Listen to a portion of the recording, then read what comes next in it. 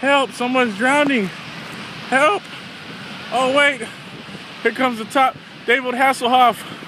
Uh, David Hasselhoff.